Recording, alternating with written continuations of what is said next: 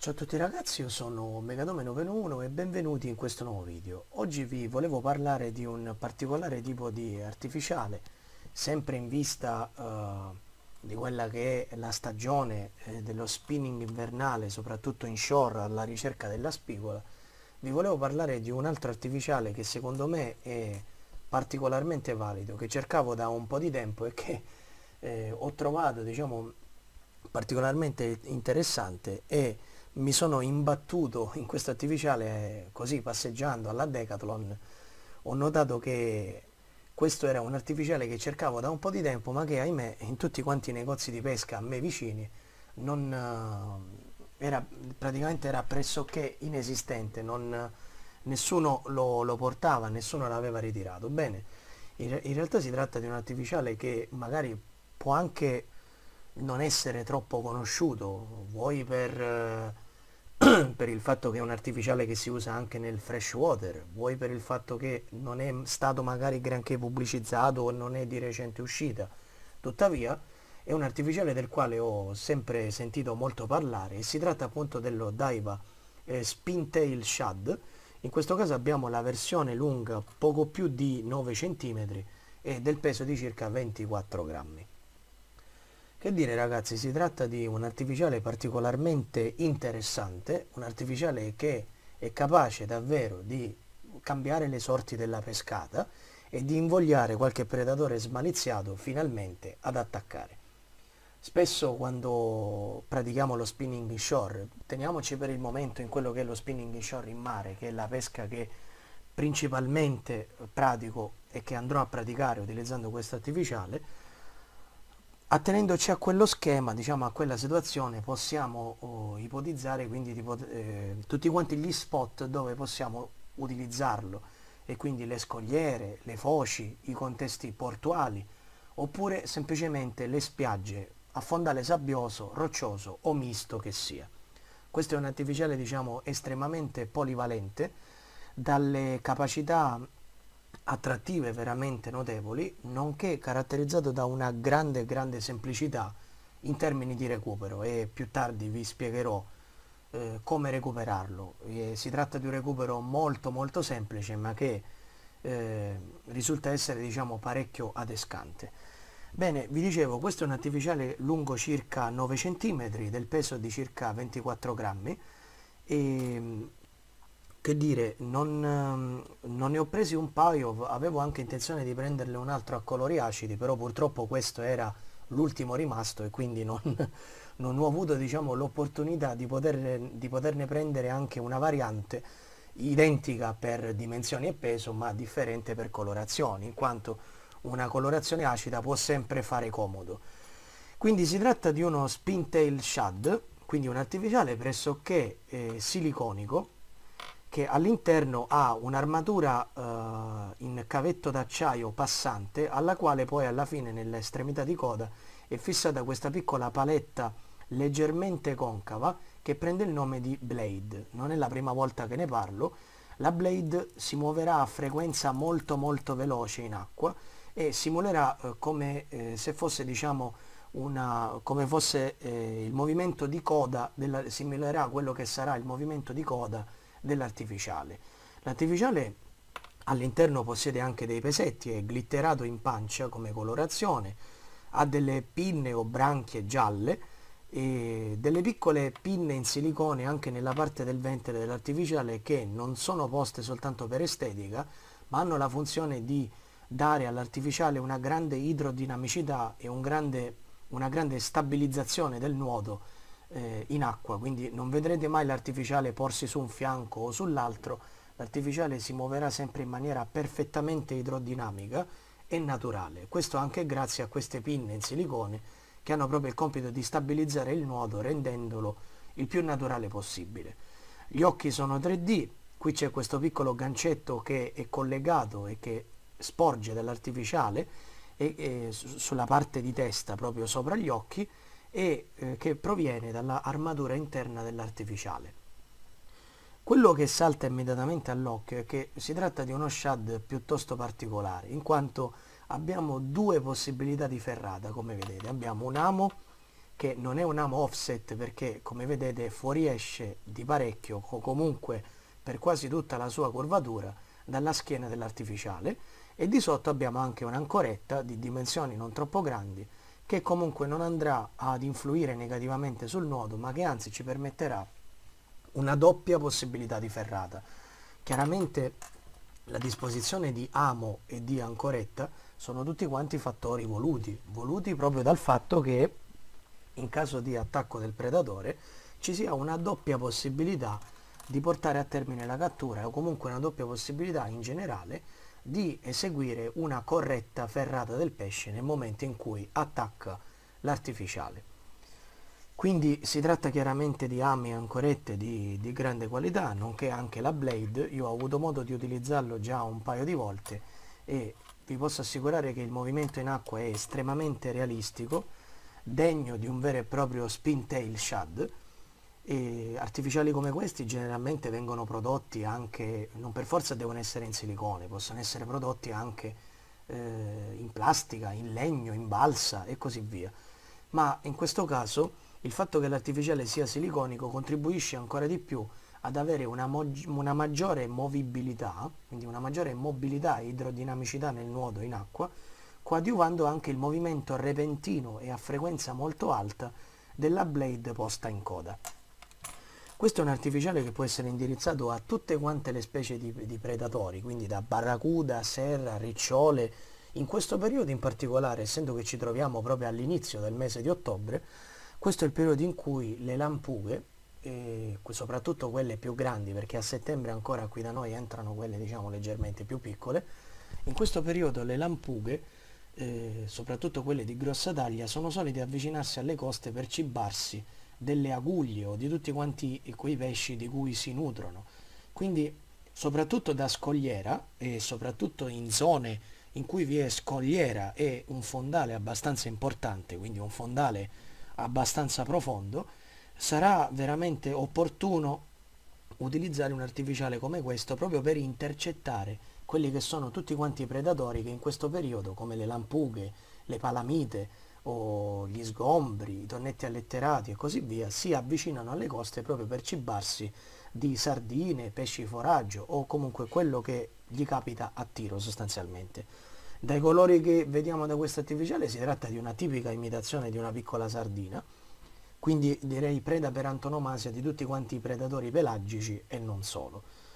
Ma attenzione, il fatto che sia particolarmente efficace nei confronti dei predatori di galla o comunque dei predatori pelagici e non solo, non significa che non sia efficace anche nei confronti della spigola. Anzi, la spigola spesso predilige una presentazione molto simile a quella che, eh, o comunque corrispondente a quella che questo artificiale mette in atto, quindi lo possiamo utilizzare anche in bassissimo fondale in condizioni di scaduta, per esempio in foce, alla ricerca di un predatore che come sappiamo è fra i più diffidenti in natura, e cioè proprio si parla della spigola. Quindi un artificiale piuttosto polivalente in termini di possibili pesci eh, che, può, eh, che potenzialmente può catturare e che eh, può riservare diciamo, belle sorprese sia nello spinning in shore, ma perché no, anche nello spinning offshore. Qualora per esempio noi ci troviamo di fronte ad una mangianza di dolletti alletterati, palamite, lampughe, quel che sia, e, e vediamo che con un classico jig, piccolo, grande che sia, di qualsiasi colore, non riusciamo ad avere l'attacco, spesso è buona norma cambiare, sostituire il jig, quindi ruotare le esche, variare la presentazione e utilizzare un'esca come questa. Questa è un'esca talmente polivalente appunto da poter essere utilizzata anche nello spinning offshore. Offshore, per chi non lo sapesse, intendo lo spinning dalla barca, indirizzato alle mangianze, quindi ai predatori, a tutte quelle situazioni in cui a galla si vede proprio una forte attività da parte di determinate categorie o specie di pesci. Quindi questo sicuramente può essere un ottimo espediente. Detto questo, oh, volevo parlare di come recuperarlo. Il recupero di questo artificiale è molto semplice pur essendo un artificiale SHAD, come vi ho detto ha all'interno posizionata un'armatura con filo metallico e dei pesetti in piombo che lo rendono particolarmente stabile in acqua e lineare nel nuoto, bene, proprio a partire da questa linearità che ha nel suo nuoto, nel suo movimento, dobbiamo sfruttare questa sua linea, questa sua linea eh, di recupero lineare per garantire al meglio eh, o per presentare, per meglio dire al meglio, questo artificiale agli occhi di un qualsiasi tipo di predatore. Quindi in questo caso a differenza di un long jerk, a differenza di un jig, di un popper, di un VTD o di tante altre hard baits, o a differenza anche di altre esche siliconiche come il, il persuader, quindi il sistema del pendolino rig, oppure le classiche testine piombate shad, eccetera, con questo artificiale, credetemi, è sufficiente lanciare e recuperare soltanto. Quindi semplicemente un recupero lineare a velocità medio-bassa, in modo da dare il tempo al pesce di passare attraverso quella che potrebbe essere la strike zone o comunque lo spot che più ci interessa sondare. E state tranquilli che anche con un recupero medio lento la frequenza di movimento della blade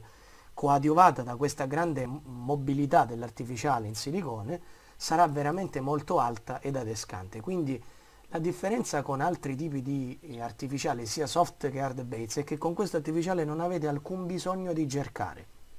è sufficiente lanciare e recuperare a velocità, ripeto, medio-bassa, magari con canna laterale o magari anche con canna bassa, a secondo del punto in cui vi trovate. Se vi trovate per esempio sulla banchina di un porto alta circa un metro e mezzo dal livello del mare,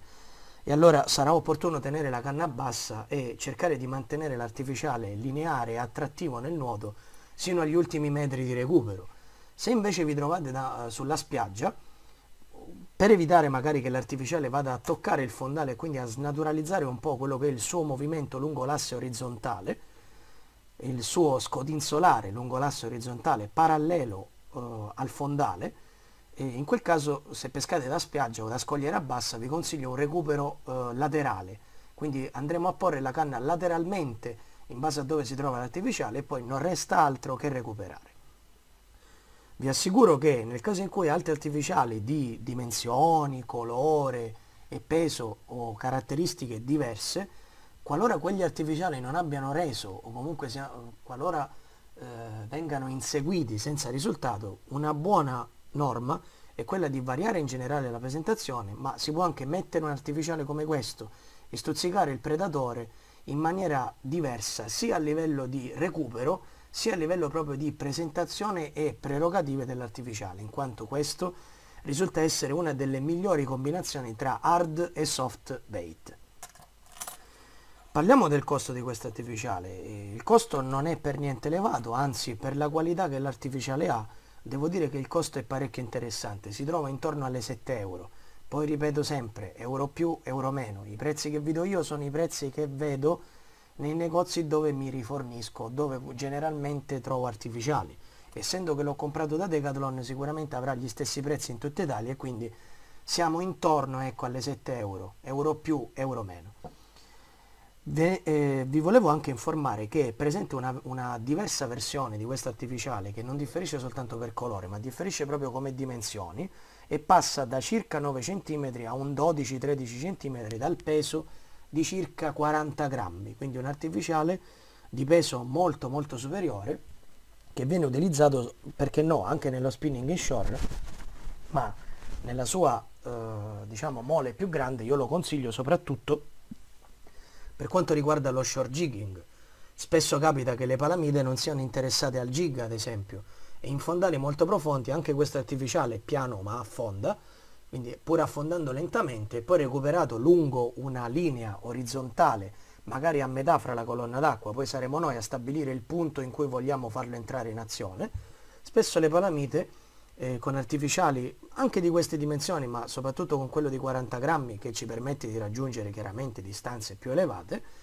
mostrano interesse le palamite e anche altri pelagici nei confronti di questo artificiale anche nell'approccio dello short jigging come alternativa ad un comunissimo gig.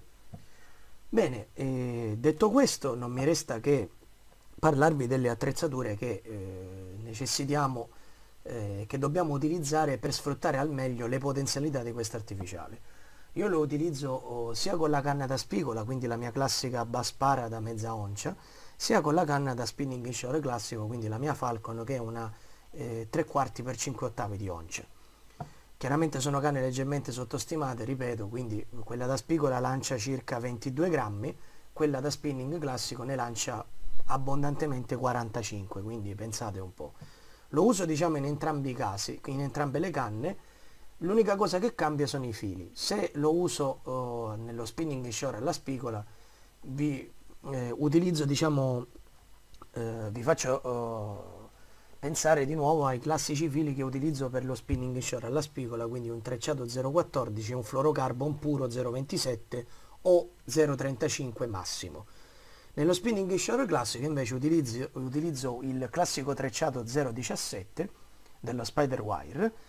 abbinato ad un eh, fluorocarbon dello 040-045 diciamo. Quelli sono i diametri che utilizzo di più. Quindi come canne ci siamo come mulinelli nella canna per lo spinning alla spigola che è leggermente più eh, leggera come tecnica diciamo così a livello di attrezzatura utilizzo un 2000 come mulinello mentre quella dello spinning shore classico utilizzo un 4000 quindi in entrambi i casi potete utilizzare questo artificiale qualora decideste di acquistare la versione più grande da 40 grammi potete sempre utilizzare la canna da spinning shore classico oppure come vi dicevo poco fa eh, utilizzarlo al posto di un jig e quindi utilizzarlo con attrezzature da short jigging che variano sia come lunghezza che come peso che come portata in grammi e anche come a livello di mulinelli e diametro dei fili. Bene ragazzi, io credo di avervi detto tutto, che dire, questo è un artificiale molto molto molto particolare che può riservare veramente veramente belle sorprese e ho avuto occasione di testarlo, purtroppo non ancora con un bel pesce, altrimenti vi avrei fatto il video e ve l'avrei fatto vedere, ma spero che in futuro ci sarà l'occasione per poterlo testare a dovere. Sono molto soddisfatto, ripeto, del suo nuoto, che risulta essere estremamente catturante e estremamente adescante, eh, perché si muove veramente come fosse un pesce vivo e la blade, muovendosi ad alta frequenza, emette dei eh, brevissimi ma molto intensi flash laterali che eh, rendono l'esca ancora più vistosa e ripeto adescante. Purtroppo era l'ultimo rimasto quindi non ho potuto comprarne anche una variante a colorazioni acide ma avrebbe fatto piacere ma chissà magari in futuro riesco a trovarlo e, e lo prendo anche sicuramente. Bene ragazzi io spero che questo video vi sia risultato utile e vi sia piaciuto, se così è vi invito a mettere un bel like, condividete il video, fatelo vedere a tutti i vostri amici appassionati di pesca e noi ci rivediamo in un prossimo video. Ciao ciao!